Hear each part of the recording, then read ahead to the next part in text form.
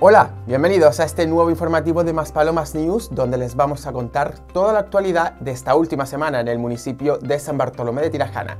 Hoy es domingo 1 de mayo de 2022. Soy Oscar Navarro y comenzamos.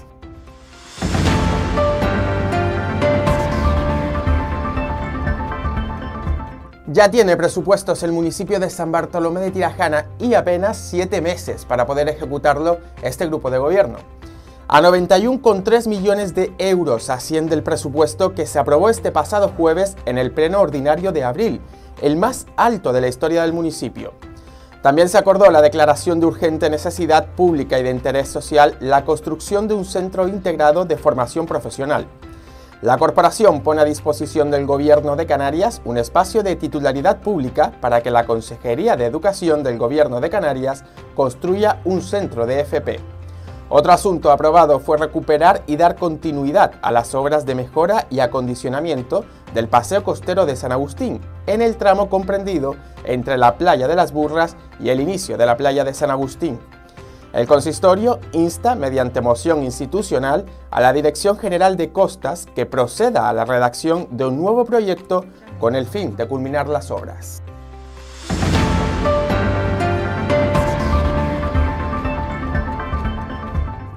Coalición Canaria presentaba alegaciones a los presupuestos del municipio. El portavoz del grupo político Alejandro Marichal visitaba nuestros estudios tras el pleno y nos explica los motivos por los que lo llevará a Fiscalía. Bueno, hoy ha tenido lugar el pleno municipal. Entre otras cuestiones se trató eh, la aprobación definitiva de los presupuestos municipales.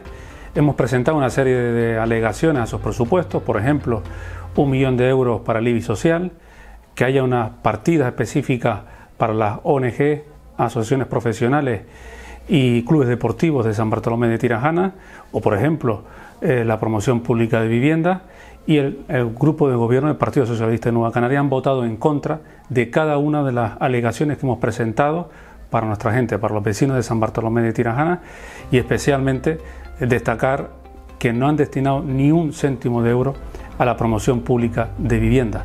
Y además aprobando unos presupuestos de manera ilegal, porque contemplan subidas salariales que son ilegales a ciertos funcionarios del ayuntamiento.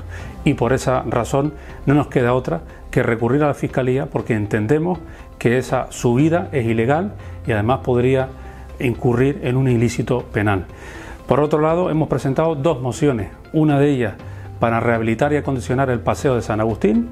Hemos conseguido que el resto de fuerzas políticas apoyen esa moción, que además vino de la mano de 250 firmas de vecinos de la zona y por otro lado la moción de mejorar la organización de la paz, hacer una, solicitar una ayuda al gobierno de España para mejorar esta organización que como todos sabemos está muy mal estado, tiene problemas estructurales y entra dentro del trabajo que hicimos cuando estábamos en el gobierno municipal de tramitar eh, todas aquellas ayudas posibles para rehabilitar el parque de vivienda existente. Sin embargo, el Partido Socialista de Nueva Canaria han votado en contra de esa moción, han votado en contra de aquellas personas que en este caso viven en la organización La Paz y tienen una organización que está en muy mal estado. Y en relación a la playa del Pirata, igual que también al paseo marítimo de eh, San Agustín, le hemos propuesto al gobierno municipal que en vez de delegar esas competencias en, la demarcación de costa la asuma directamente el ayuntamiento porque tiene capacidad económica para hacerlo, por ejemplo a través del consorcio de rehabilitación turística que tienen 15 millones de euros y a día de hoy solamente han ejecutado el paseo de Melonera. Sin embargo, el Partido Socialista de Nueva Canaria decidieron que no querían asumirlo directamente al ayuntamiento, sino seguir en la línea de exigírselo a otras administraciones, cuando, insisto, el Ayuntamiento de San Bartolomé de Tirajana tiene capacidad económica para hacerlo directamente, por ejemplo, a través del Consorcio de Rehabilitación Turística.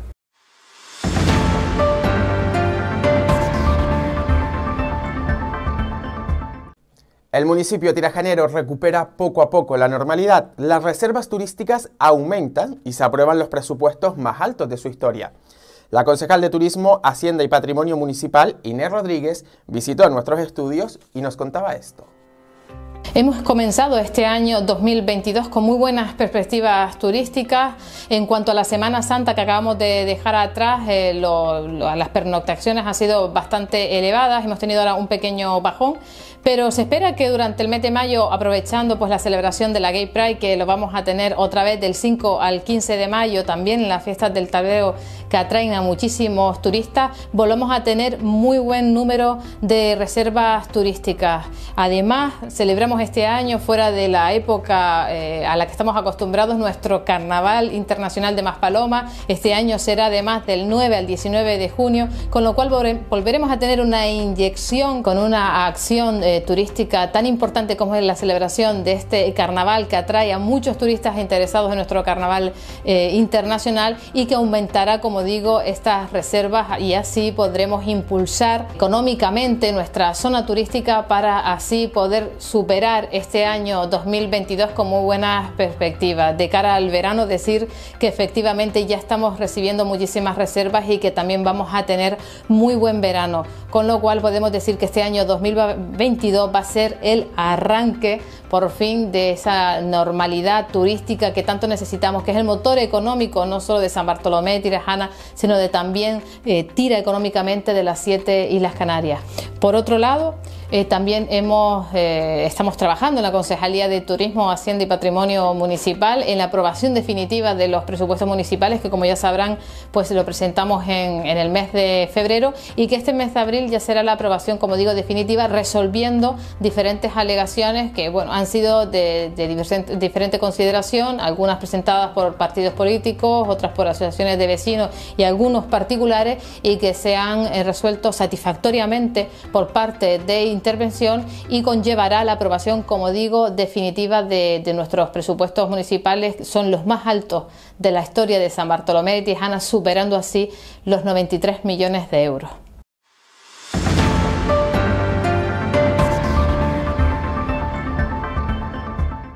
El grupo político PPAV critica al grupo del gobierno que no fomenta la lectura y que por el Día del Libro no se realizaran actividades.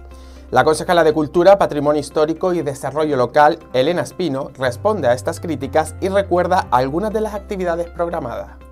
De las actividades que tenemos previstas para este fin de semana, por ejemplo el sábado, tenemos el musical Blancanieves en el Centro Cultural de Maspaloma.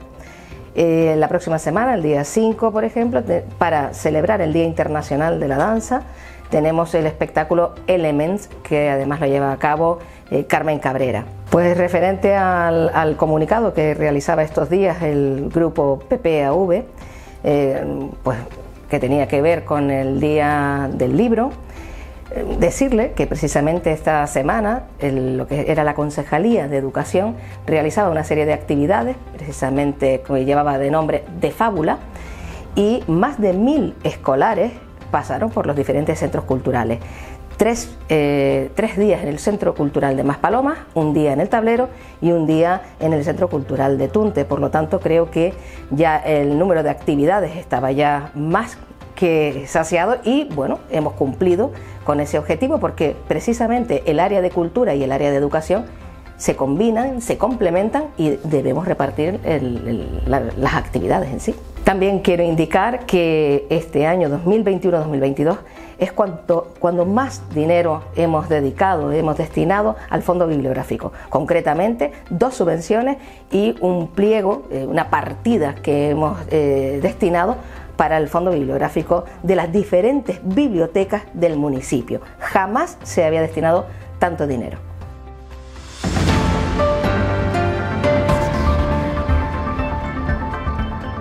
La Concejalía de Mercados, Ganadería y Agricultura de San Bartolomé de Tirajana celebra este domingo el decimotercer aniversario del Mercado Agrícola de San Fernando. Durante la mañana de hoy habrá música en vivo, sorteos y 30 puestos que ofrecen una completa variedad del sector primario. Quesos, frutas, verduras, hortalizas, están a tiempo de visitarlo y comprar los productos de la tierra.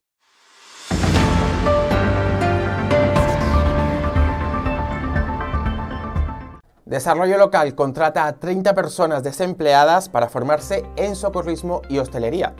La alcaldesa Concepción Narváez y la concejal de Desarrollo Local, Elena Espino, presentaban dos nuevos programas públicos de formación y empleo dirigidos a 30 personas desempleadas, subvencionados por el Servicio Canario de Empleo y el Ministerio de Empleo y Economía Social. Los objetivos de ambos programas son facilitar el acceso al trabajo mediante el aprendizaje profesional en la ocupación y tendrán una duración de 11 meses y 15 días.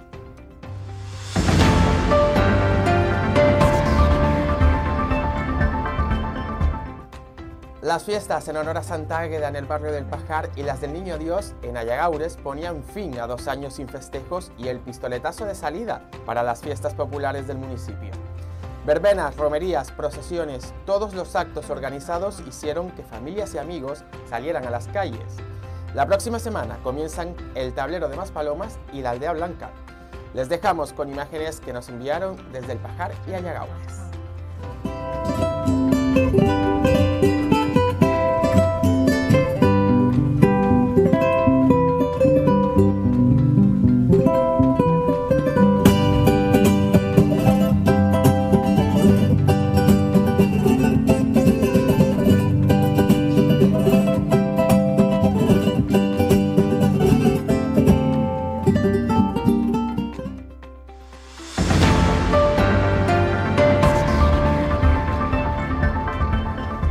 Continúan las reclamaciones por los ruidos en el municipio de San Bartolomé de Tirajana. Los vecinos se quejan de que no se están tomando las medidas necesarias para evitarlo. Francisco Javier Cortés vuelve a nuestros estudios a denunciar los ruidos que viene sufriendo en su casa. Esto nos contaba. Si no se para, bueno, si, ya vemos que se han tomado medidas, porque no lo decimos tampoco nosotros, lo ha sacado la prensa, que hubo hasta problemas dentro de la policía local con alguna decisión que había tomado su jefe, etcétera, etcétera. O sea, que es que esto es, es kafkiano, es surrealista. Es que esto no es un ciudadano que se está quejando de algo que ha oído. No, no, es que está ahí del pueblo. El pasado mes de agosto se ha incoado un procedimiento a la entidad titular del establecimiento de ocio denunciado por usted, situado en la segunda planta del centro de ocio Holiday World, hmm. al objeto de proceder al cierre del mismo o a la prohibición de desarrollar la actividad por no contar con la preceptiva licencia y como medida provisional urgente se adopta el precinto inmediato de los aparatos reproductores de sonido y suspensión de cualquier actividad musical. Teniendo en cuenta lo informado, se le sugiere que en lo sucesivo, en caso de detectarse cualquier tipo de incumplimiento en las actividades que se desarrollan en el citado espacio, ponga en conocimiento del ayuntamiento las mismas, al objeto de que ejerzan sus competencias de inspección y de vigilancia de dichas actividades. En el supuesto de que sus denuncias no sean atendidas, puede ponerlo en conocimiento nuevamente de esta institución, al objeto de valorar la procedencia e intervenir nuevamente en el asunto planteado en su queja. Pero al turismo hay que cuidarlo. Yo lo digo porque si queremos que esto se convierta en salón o algo así, pero que ya voy eh, centrando en la salud de las personas, en este mm. caso en la mía. Yo no puedo, yo he aprendido a que lo que tengo que hacer es por mí y el círculo que me rodea. Grandes cambios no se pueden hacer así como si fuera Jesucristo. Eh, digo, pues veo que ya son dos fines de semana y esto va a ir, por lo que te digo, increciendo y al final acaba uno desquiciado. Entonces, como tengo toda la documentación en regla, tengo toda la, hmm. razón como ciudadano y tal, pues me iré esta semana, ya te digo, quiero hacerlo mañana como mucho pasado. Presentaré una denuncia ya hecha desde mi casa para no tirarme en el juzgado, que me den registro de entrada a la denuncia hmm. con toda la documentación que aporto y que el juzgado pues mire a ver lo que, lo que decida el juzgado. Porque...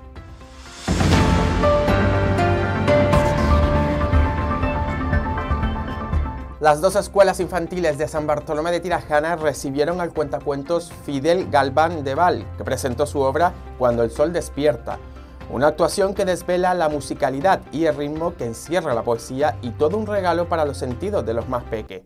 Organizada desde la Concejalía de Educación, dirigida por Clare Martel, área que está desplegando una amplia actividad de acciones y cuyo objetivo fundamental es estimular los valores y sentimientos en las primeras edades de la vida.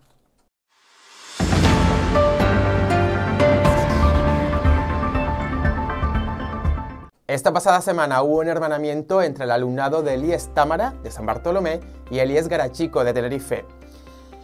A través del proyecto Conociendo nuestros orígenes y cuya finalidad y objetivo es el que los estudiantes investiguen y estudien la historia de Canarias. Esta iniciativa contempla dos fases. una en la que el alumnado profundice en el estudio del patrimonio arqueológico y cultural del archipiélago y una segunda donde se expone parte del trabajo realizado. Hace algunas semanas, en esta misma acción se llevó a cabo en el Centro Educativo de Garachico, donde alumnos del IES Támara, junto al profesorado, se desplazaron hasta Tenerife para conocer el patrimonio histórico artístico de aquella isla.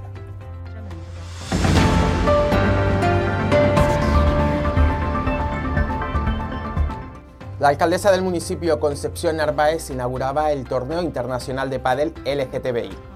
Además, agradecía a la organización que hubiese elegido como sede nacional, junto con Madrid y Barcelona, el municipio. A nivel nacional, el pádel es la disciplina con más licencias federativas solo por detrás del fútbol. El torneo de pádel de Maspalomas por la diversidad se celebró durante el fin de semana en las instalaciones del Hotel Gloria Pala San Agustín, con la participación de más de un centenar de deportistas, entre ellos 40 parejas masculinas y 16 femeninas. Portugal, Italia, Francia, Bélgica y Suecia optaron a los trofeos para los mejores del torneo en cada categoría.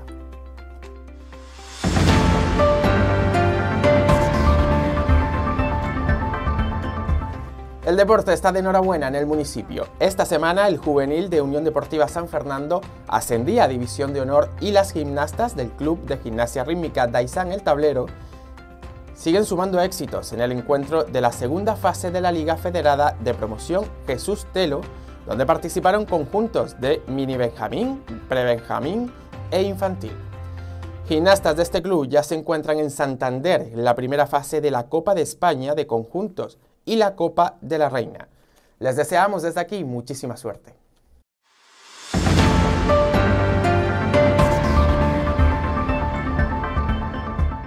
Esta noche y la noche del lunes 2 de mayo se celebra en el anfiteatro del Parque Sur la gran final de Miss Grand Spain.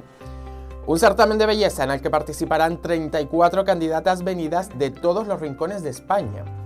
Recibimos en nuestros estudios al delegado de Miss Grand Spain, Rodolfo Figueroa, y a dos de las candidatas que optan a la corona de Miss Grand Spain, María José Molina de Jaén y Fabiola Sánchez de la provincia de Tenerife.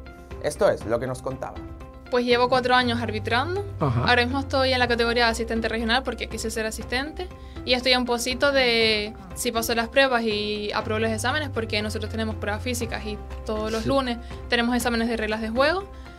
Puedo subir a asistente tercera nacional donde eh, arbitraría de de asistente, árbitros de eh, partidos de tercera división. Sí que hago un llamamiento a todas las mujeres que no se atreven a presentarse a un certamen de belleza de este tipo, por el que pueden decir, por el eh, están valorándote como un objeto, que no es así. Mi gran Jaén, por ejemplo, eh, a mí me ha transmitido unos valores de empoderamiento como persona, como mujer.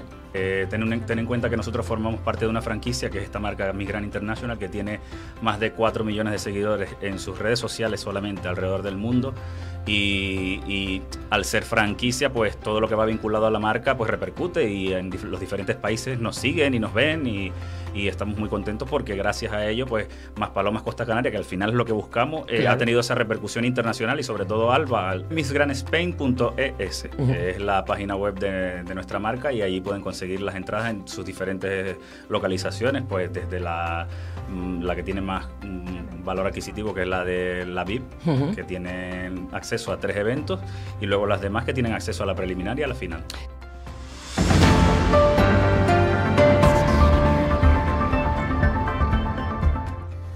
Hoy domingo coincidirán dos días muy importantes en nuestro calendario.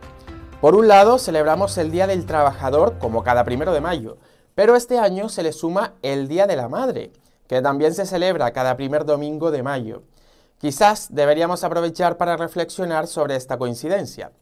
Por un lado, sobre la evidente importancia que tiene el trabajo en nuestras vidas y la necesidad olvidada de dedicarnos a lo que realmente nos gusta, algo que a menudo maquillamos de conformismo, cuando en su mayoría podríamos llegar a conseguirlo en muchos casos. ¿Cuánta vida nos cuesta nuestro sueldo? En la respuesta está la clave. Trabajar de nuestra pasión acabará siendo el elixir para conseguir la felicidad y el equilibrio en nuestras vidas a largo plazo. Por otro lado, ¿han pensado en el trabajo añadido? Existe un trabajo añadido que alguien como la figura de las madres entiende muy muy bien. Hemos reflexionado del trabajo que ejerce una madre solo por decidir dar la vida a un ser. A lo largo de nuestras vidas acabamos normalizando algo cuyo valor es incalculable. La persona a la que debemos la vida, por la cual respiramos, siempre ha estado y estará en nuestra sombra, anteponiendo su propia felicidad, su propia vida, solo por vernos sonreír. Un sacrificio físico y mental que durante años, sin horarios, permanentemente y día a día, ha estado ahí, intentando allanar el camino, quitarnos las piedras. Todo ello cargando con su propia vida. Desde Maspalomas News, permítanos aconsejarles que frenemos nuestras vidas. Miremos hacia atrás y recordemos que en nuestra casa hay una persona que nos dio la vida y de alguna manera su vida. Y hoy, quizás, esté sola esperando una visita nuestra, un mínimo de atención y que con todo ello te dirá te entiendo, estoy bien. Y es que como dice la canción, tenemos la mala costumbre de perder el tiempo. Disfruten sus padres a diario si aún pueden, si no, recuérdenles con cariño y marquen sus propias huellas en las nuevas generaciones.